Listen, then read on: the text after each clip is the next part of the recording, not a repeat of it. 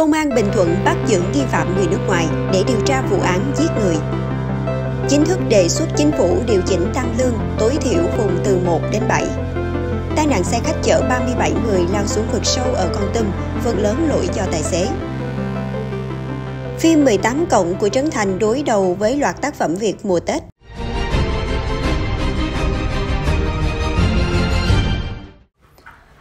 Cô gái gây hỏa hoạn nghiêm trọng vì sai lầm nhiều người mắc phải.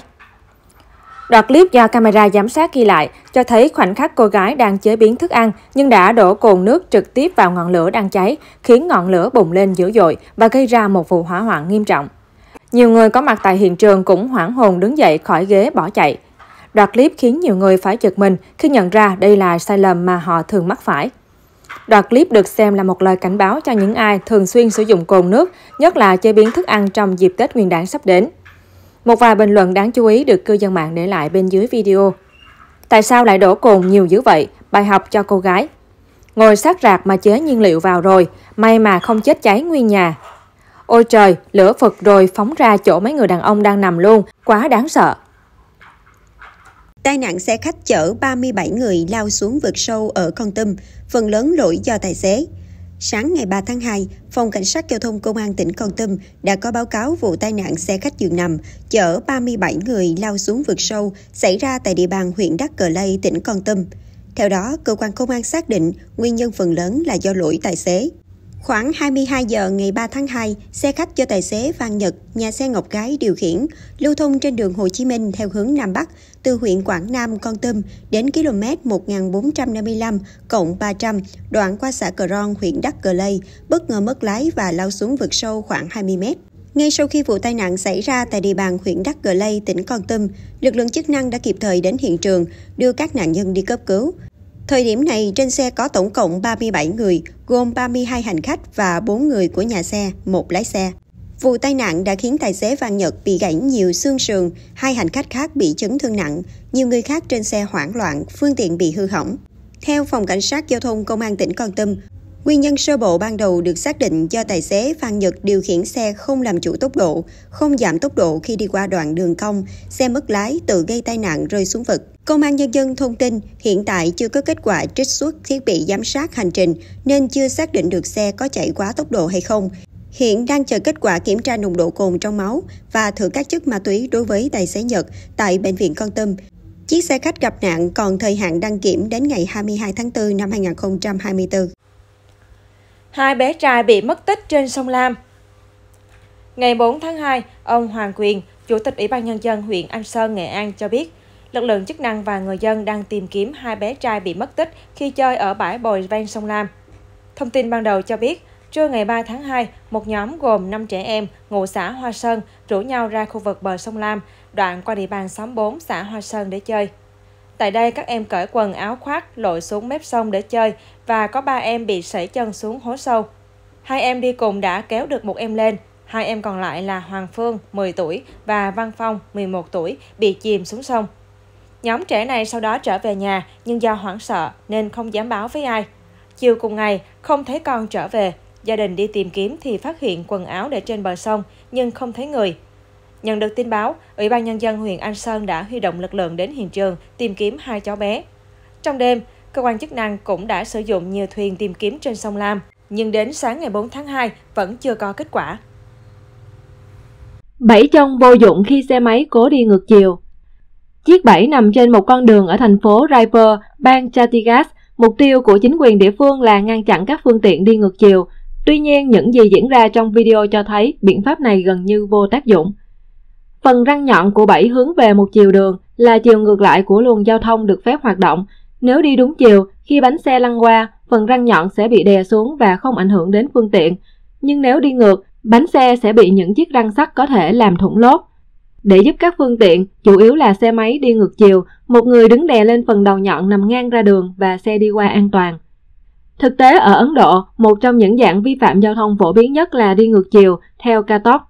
Thậm chí nhiều người thực hiện hành vi này mà không hề coi đó là một vi phạm. Cách tham gia giao thông bất chấp chỉ để tiết kiệm vài phút hoặc một phút nhiên liệu có thể dẫn tới những va chạm không đáng có. Chiếc bẫy trong này được lắp đặt trên nhiều con đường ở Ấn Độ và chỉ có hiệu quả trong ít ngày đầu. Người dân nhanh chóng nhận ra cách biến thiết bị này thành vô dụng, thậm chí có nơi bẫy bị tháo khỏi mặt đường. Ngay trong video trên cũng cho thấy một vi phạm phổ biến khác ở Ấn Độ, người đi xe máy không đội mũ bảo hiểm. Bắt giữ đối tượng có quyết định truy nã đặc biệt ở cửa khẩu quốc tế Hà Tiên. Ngày 4 tháng 2, đồn biên phòng cửa khẩu quốc tế Hà Tiên cho biết, đơn vị đã bàn giao một đối tượng có quyết định truy nã đặc biệt cho Công an huyện Cần Duộc, tỉnh Long An. Trước đó, vào 12 giờ 30 ngày 3 tháng 2, tại khu vực mốc 313 khu phố Xà Xía, phường Mỹ Đức, thành phố Hà Tiên, tỉnh Kiên Giang, đơn vị đã tiếp nhận 34 công dân Việt Nam do đồn công an cửa khẩu quốc tế Breccia Campuchia trao trả do có hành vi nhập cảnh trái phép, gây rối trật tự công cộng và cư trú bất hợp pháp tại Campuchia. Qua phối hợp với các lực lượng, đồn biên phòng cửa khẩu đã khẩn trương tiến hành phân loại, sàng lọc và phát hiện một công dân có quyết định truy nã đặc biệt của cơ quan cảnh sát điều tra công an huyện Cần Duộc, tỉnh Long An. Đối tượng này là Trần Triệu Vĩ, sinh năm 2002, thường trú tỉnh Long An. Sau khi xác định chính xác thông tin của Trần Triệu Vĩ trùng khớp với quyết định truy nã, đồn biên phòng cửa khẩu quốc tế Hà Tiên đã tuyên bố bắt và lập biên bản bắt người đang bị truy nã. Qua làm việc ban đầu, Trần Triệu Vĩ thừa nhận khoảng tháng 2 năm 2022 có tham gia đánh nhau tại tỉnh Long An. Sau đó, Vĩ đã rời khỏi thị trấn Cần Duộc, Long An đến tỉnh Vĩnh Long để làm thuê. Đến ngày 15 tháng 2 năm 2023, Vĩ xuất cảnh trái phép sang Campuchia để tìm kiếm việc làm. Đến chiều ngày 3 tháng 2, Công an huyện Cần Duộc, tỉnh Long An đã cử cán bộ đến đồn biên phòng cửa khẩu quốc tế Hà Tiên tiếp nhận đối tượng. Ngọc Trinh trở lại mạng xã hội sau khi được thả tự do. Sau khi hội đồng xét xử thuộc Tòa án Nhân dân Thành phố Hồ Chí Minh cho hưởng một năm án tù treo và hai năm thử thách vì tội gây rối trật tự công cộng, Ngọc Trinh đã trở về nhà đoàn tụ với gia đình. Mặc dù chưa chủ động lộ diện, nhưng vài hình ảnh từ người thân của Ngọc Trinh cho thấy cô nàng vô cùng xúc động khi được ôm bố ruột trong vòng tay sau hơn 3 tháng bị tạm giam. Theo chia sẻ của trợ lý thân thiết, hôm qua người đẹp gốc Trà Vinh cũng đã đến spa làm đẹp, chăm chút lại bản thân từ đầu đến chân để phục hồi lại dung nhan cũng như thư giãn sau chuỗi ngày mệt mỏi. Mới đây, các fan hâm mộ của Ngọc Trinh cũng đã mở lại tất cả các tài khoản mạng xã hội, từ Facebook, Instagram đến TikTok của cô nàng đều được công khai trở lại. Tuy vậy thì người đẹp sinh năm 1989 vẫn chưa có bài đăng mới nào.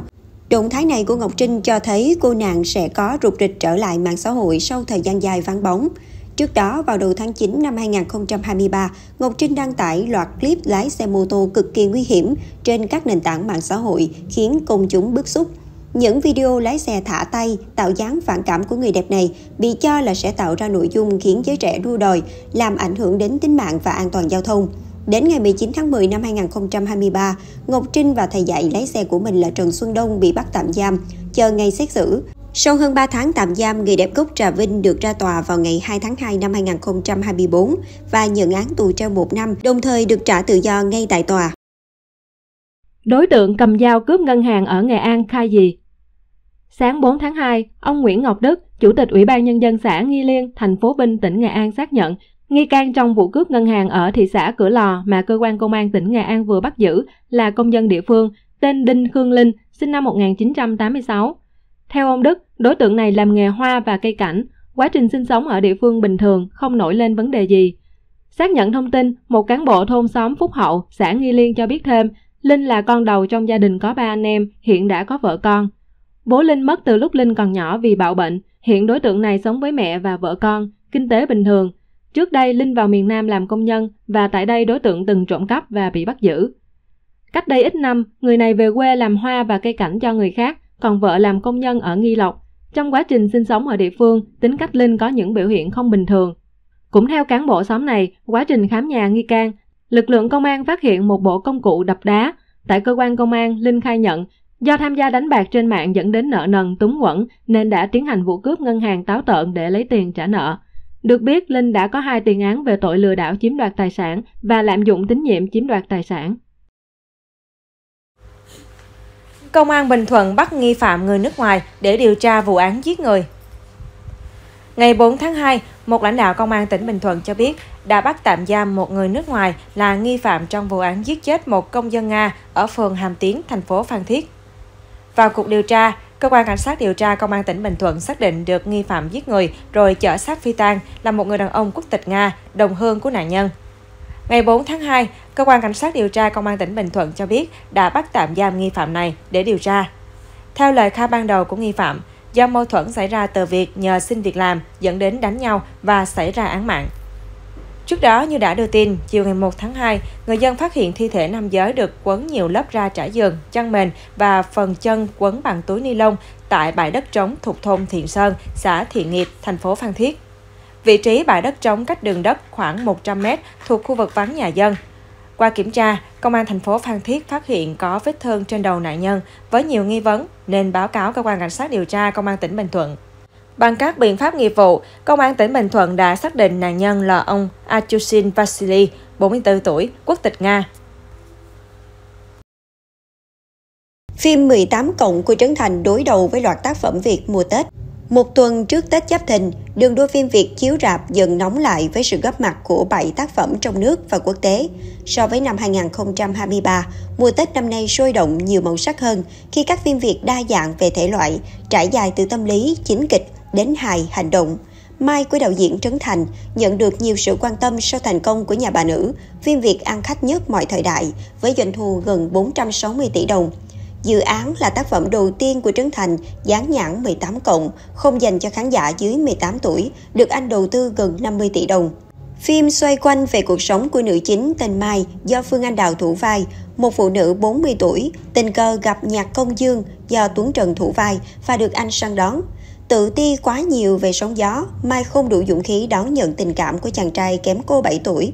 Cùng khai thác các thể loại hài tình cảm, gặp lại chị bầu, nhất trung đạo diễn, hướng đến chủ đề về gia đình, phân khúc khán giả rộng hơn khi dán nhãn 13 cộng. Tác phẩm Trà đánh dấu sự trở lại của đạo diễn Lê Hoàng sau 7 năm kể từ tác phẩm SOS Sói Trắng được gắn mát 18 cộng, tác phẩm khai thác chủ đề ngoại tình trong hôn nhân. Phim Việt thứ tư, Sáng đèn do đạo diễn Hoàng Tuấn Cường tái hiện buổi giao thời của Cải Lương thập niên năm 1990 đến 2000. Dàn diễn viên như Lê Phương, Bạch Công Khanh, Cao Minh Đạt, Hữu Châu hóa thân thành các nghệ sĩ cải lương, ông bầu của gánh hát Viện Phương. Trong thời buổi chật vật mưu sinh phải chuyển đổi thành đoàn tạp kỹ, họ vẫn giữ được tình yêu nghề, bám trụ với sân khấu. Các đạo diễn, nhà sản xuất nhận định cuộc so găng gây cấn song không lo ngại doanh thu, trấn thành quan niệm thị trường phim Tết có chỗ cho tất cả.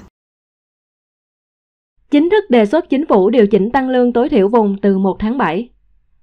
Hội đồng Tiền lương Quốc gia vừa chính thức khuyến nghị với chính phủ xem xét điều chỉnh tăng lương tối thiểu vùng năm 2024. Mức tăng được hội đồng đề xuất 6%, tương ứng tăng 200.000 đồng đến 280.000 đồng. Cụ thể, vùng 1 tăng từ 4,68 triệu đồng một tháng lên 4,96 triệu đồng một tháng, tăng thêm 280.000 đồng. Vùng 2 tăng từ 4,16 triệu đồng một tháng lên 4,41 triệu đồng một tháng, tăng 250.000 đồng. Vùng 3 tăng từ 3,64 triệu đồng một tháng lên 3,86 triệu đồng một tháng, tăng 220.000 đồng. Vùng 4 tăng từ 3,25 triệu đồng một tháng lên 3,45 triệu đồng một tháng, tăng 200.000 đồng. Đối với lương tối thiểu giờ, Hội đồng cũng thống nhất tăng tương ứng 6%, tương ứng tăng 16.600 đồng đến 23.800 đồng so với quy định hiện hành, Thời điểm tăng được Hội đồng đề xuất từ ngày 1 tháng 7 2024, đồng bộ với chủ trương của đảng về thời điểm thực hiện cải cách tiền lương khu vực nhà nước, đảm bảo thời gian để doanh nghiệp chuẩn bị phương án, nguồn lực để thực hiện.